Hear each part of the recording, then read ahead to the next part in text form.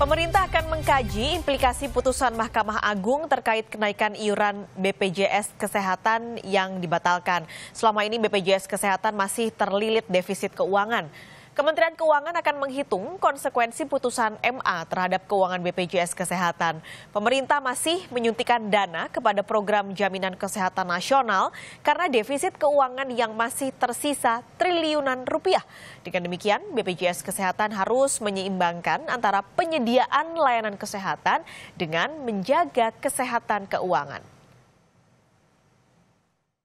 Kita harus lihat lagi implikasinya kepada BPJS gitu ya kalau dia secara keuangan kemudian akan terpengaruh, ya nanti kita lihat bagaimana eh, BPJS Kesehatan akan bisa sustain dari sisi keinginan untuk memberikan jasa kesehatan kepada masyarakat secara luas.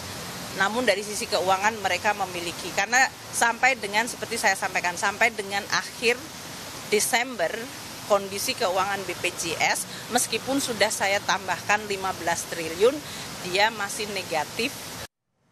Ibu Sri Mulyani Cahyo ya, aduh ini bertubi-tubi sekali. Jadi keputusan Mahkamah Agung datang ketika lagi ada corona, lalu kemarin ada shortfall pajak yang sekarang Mahkamah Agung membatalkan iuran BPJS Kesehatan yang awal tahun kemarin dinaikkan oleh pemerintah dengan alasan defisit keuangan BPJS Kesehatan. Sebenarnya kenapa sih Mahkamah Agung membatalkan uh, iuran BPJS Kesehatan yang naik? Jadi alasannya sebenarnya adalah mempertimbangkan asas keadilan.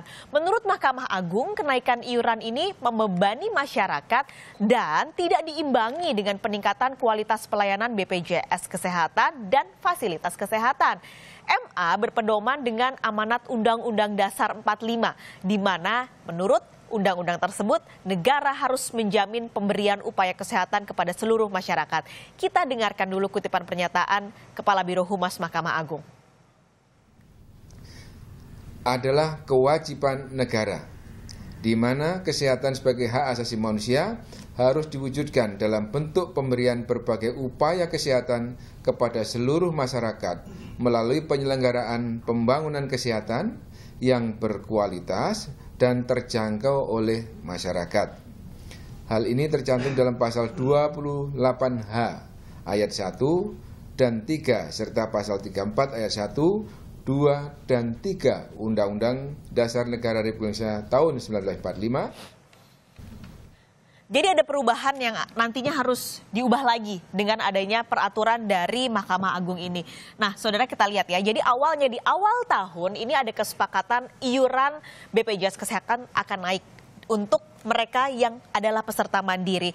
Kelas 1 160 ribu, kelas 2 110, lalu kelas 3 42 ribu. Dengan adanya aturan Mahkamah Agung yang menganulir kebijakan ini, akhirnya kembali lagi ke iuran lama saudara, yaitu kelas 1 80 ribu, kelas 2 51 ribu, dan kelas 3 25 ribu. Anda lihat signifikan sekali sebenarnya untuk perubahan dari iuran baru ke iuran lama. Meskipun kita belum tahu nih bagaimana prosesnya nanti apakah nanti di bulan April berarti ya untuk mereka yang peserta mandiri langsung dipotongnya adalah iuran lama atau ada proses lain. Pertanyaannya kenapa sih ketika itu iuran baru dibuat oleh pemerintah? Ini penyebabnya yaitu defisit kesehatan. Bertahun-tahun sebenarnya sudah ada dana talangan dan juga suntikan modal dari pemerintah, tapi BPJS selalu defisit. Anda lihat dari 2016, 2017, 2018 hingga 2019 terus menerus defisit.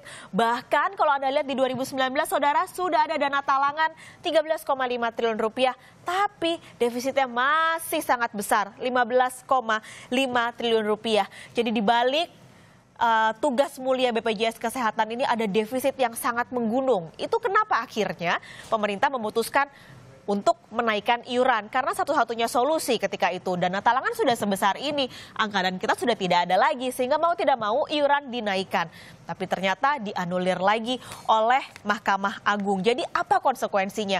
Ketika rapat pemberian dana talangan, sebenarnya Kementerian Keuangan pernah memberikan opsi bahwa ketika nantinya andaikan iuran tidak jadi naik, maka dana talangan yang akan diberikan oleh yang sudah diberikan oleh pemerintah bisa saja sewaktu-waktu ditarik lagi Jadi defisitnya makin menggendut nih BPJS Kesehatan. Lalu sebenarnya tidak hanya soal defisit, ada banyak sekali kendala-kendala yang terjadi di uh, eh, BPJS Kesehatan. Kita lihat yang pertama, nah ini nih data. Ini adalah masalah uh, umum sekali, masalah klasik sekali di Indonesia, masalah mismatch data tahun lalu Kementerian Sosial sudah melakukan cleansing data melihat apakah benar nih orang dengan gaji sekian masuknya ke kelas 1 atau kelas 2, kelas 3. Ternyata ada kesalahan data, 27,4 juta data yang salah sehingga oh, orang dengan gaji sekian ini ternyata tidak tepat masuk kelasnya kemungkinan adalah mereka ternyata kurang bayar. Nah, dengan adanya mismatch data ini sebenarnya pergerakannya jadi terlalu cepat ya. Jadi uh, uh, proses mismatch atau proses cleansing data terus bergerak, tapi uh, defisit dari BPJS Kesehatan juga terus bertambah. Tidak hanya itu, ada sistem pembayaran yang masih ngaco ya hitungannya. Lalu juga kepatuhan membayar. Ini kita uh, lihat dengan adanya moral hazard, di mana banyak sekali peserta BPJS Kesehatan yang bayar ketika sakit. Kalau udah sembuh, ah udahlah nggak usah bayar lagi. Nah, permasalahan-permasalahan itu akhirnya membuat defisit BPJS ini semakin gendut. Harapannya dengan ada kondisi ini, ayolah masyarakat membantu juga untuk disiplin membayar BPJS Kesehatan kalau memang ingin mendapat fasilitas kesehatan yang baik dan mumpuni.